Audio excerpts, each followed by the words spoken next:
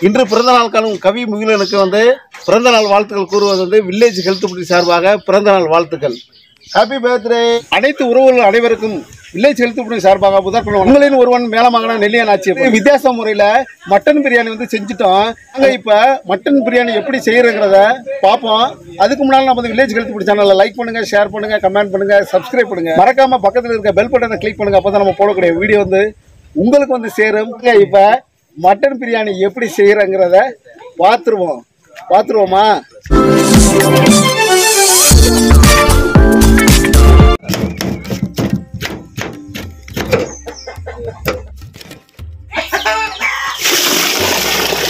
பத்து kilo basmati rice வந்து பிரியாணிக்கு வந்து பாசுமதி ரைஸை குறைஞ்சது ஒரு அரை மணி நேரமாவது நம்ம ஊற வைக்கிறோம். அதனால் தண்ணி ஊற்றி நல்லா அலசிக்கிறோம்.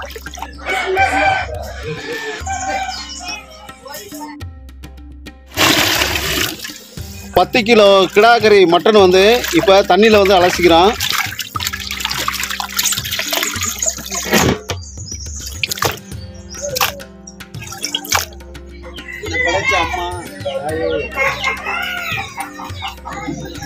இன்று கவி முகிலன் பிறந்த நாள் முன்னிட்டு இன்னைக்கு பத்து கிலோ மட்டன் பிரியாணி வந்து செய்ய போறோம் அதுக்காக வந்து பாத்திரம் வச்சுக்கிறோம் பாத்திரம் நல்லா காஞ்சிருச்சு. இப்போ ஒரு லிட்டர் வந்து ஊற்றிக்கிறோம்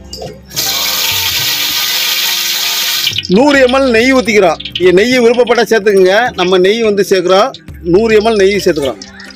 எண்ணெய் நல்லா காஞ்சிருச்சு. தேவையான அளவு கறி மசாலா பட்ட வகைகள் சுருள்பட்டை ஏலக்காய் கிராம்பு சோம்பு ஜாதிக்காய் வந்து அரைச்சது வந்து ஒன்று சேர்க்குறோம். இருபது பச்சை மிளகா வந்து சேர்த்துக்கிறோம். பெரிய வெங்காயம் வந்து ரெண்டு கிலோ சேர்க்குறோம் வெங்காயம் வந்து நல்லா பொன்னேரமாக வர்றது வரைக்கும் நல்லா வதக்கிக்கிறோம். வெங்காயம் வந்து பொன்னேரமாக இருந்தால் தான் வந்துட்டு பிரியாணிக்கு வந்து டேஸ்ட்டே வந்து வித்தியாசமாக இருக்கும். எண்ணெயிலே வதக்கிக்கிறோம். வெங்காயம் வந்து நல்லா பொன்னேரமாக நல்லா வதங்கிருச்சு. இனிமே ஒரு கட்டு புதினாம அரை கட்டு மல்லித்தலையும் நம்ம க கட் பண்ணி வச்சுருக்கோம். அதையும் சேர்த்துக்கிறோம். புதினா கொத்தமல்லி வந்து நல்லா வதங்கிருச்சு. இப்போ தேவையான அளவு இஞ்சி அரைச்சது வந்து 750 கிராம் பூண்டு அரைச்சது வந்து 750 கிராம் வந்து சேர்க்குறோம்.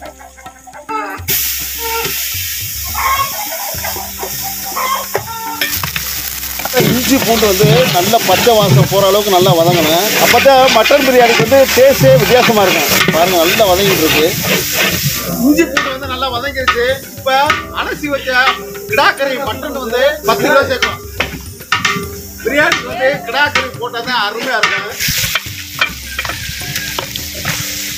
மட்டனில் வந்து தண்ணி இருக்கும். நம்ம அலசி இருக்கிறதுனால தண்ணி வந்து இருக்கும். அப்போ தண்ணி வந்து விட்டுரும் தண்ணி விட்ட பிறகு அதுக்கு பிறகு நம்ம தக்காளி பழம் சேர்த்தோம்னா கொஞ்சம் நமக்கு வேகிறதுக்கு ஈஸியாக இருக்கும். அதனால தான் தக்காளி பழம் நம்ம பின்னால் வந்து சேர்க்க போகிறோம் மட்டன் வந்து நல்லா வேகட்டும். அதுக்காக நம்ம வந்து மூடி போட்டுக்கிறோம்.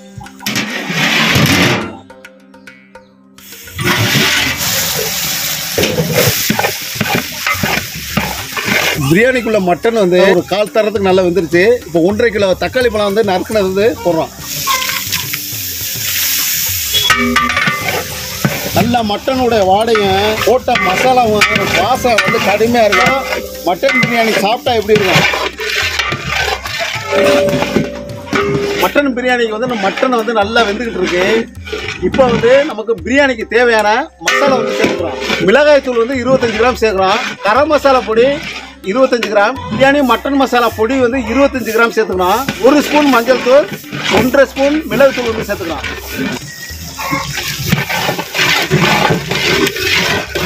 போட்ட மசாலா வந்து நல்லா பச்சை வாசம் போகிற அளவுக்கு நல்லா வதக்கிட்டோம். இனிமேல் நம்ம வந்து தயிர் எலுமிச்சம்பழமும் சேர்த்துக்கிறோம் நல்லா பசு தயிர். தயிர் வந்து ஒரு லிட்டர் வந்து ஊற்றிக்கிறோம் பத்து எலுமிச்சம்பழம் சாறு வந்து ஊற்றுறோம் தேவையான அளவு கல் உப்பு வந்து சேர்த்துக்கிறோம்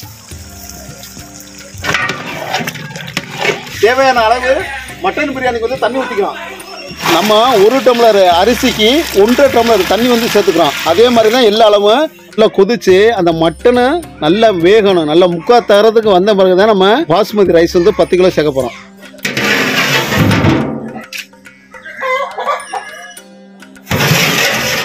மட்டன் வந்து நல்லா முக்கால் தரத்துக்கு நல்லா வெந்துருச்சு. இனிமேல் நம்ம ஊற வச்ச பாசுமதி அரிசியை வந்து பத்து கிலோ வந்து சேர்க்க போகிறோம் இப்போ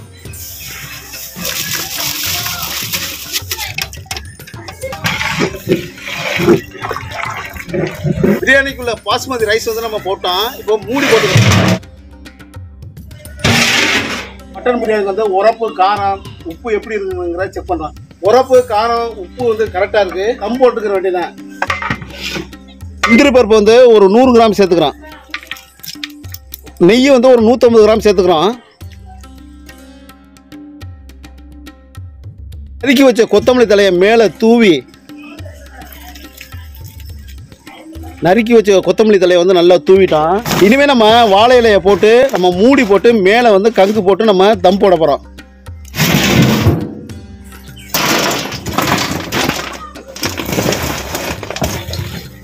இப்போ பிரியாணி வந்து தம் போட்டோம் நல்லா தம் போட்டு கிட்டத்தட்ட ஒரு அரை மணி நேரம் கழிச்சு தான் மட்டன் பிரியாணியை வந்து ஓப்பன் பண்ண போகிறோம் இப்போ மட்டன் பிரியாணி வந்து தம் போட்டு அரை மணி நேரம் ஆச்சு.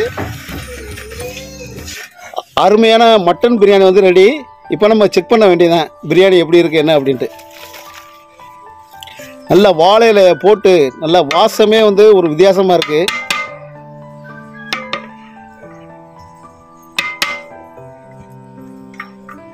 எப்படி மட்டன்லாம் நல்லா பஸ்மமாக அப்படி வெந்து பல்ல கிழவை கூட சாப்பிட்லாம் அது. மட்டன் பிரியாணி மட்டன் பிரியாணி அருமையா இருக்கு. தேடி வந்து ஆர்டர் பண்ணி சாப்பிடுங்க. பிரியாணி செம்மையா இருக்கு. சூப்பர்.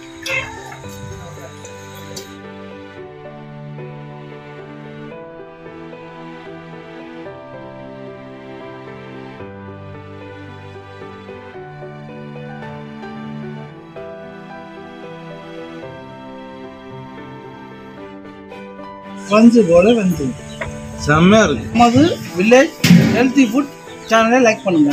சாப்பிடுங்க. ஆஹா. அருமையான மட்டன் பிரியாணி ரெடி அதே போல் நமது வில்லேஜ் கல்ச்சர் சேனலை லைக் பண்ணுங்கள் ஷேர் பண்ணுங்கள் கமெண்ட் பண்ணுங்கள் சப்ஸ்கிரைப் பண்ணுங்கள் மறக்காம பக்கத்தில் இருக்க பெல் பண்ணி கிளிக் பண்ணுங்கள் நம்ம போடுற வீடியோ வந்து உங்களுக்கு வந்து சேரும். வாங்க எல்லாரும் சேர்ந்து சாப்பிடுவோம். மட்டன் பிரியாணி சாப்பிடுவோமா? நன்றி வணக்கம். அடுத்த வீடியோவில் மீண்டும் சந்தி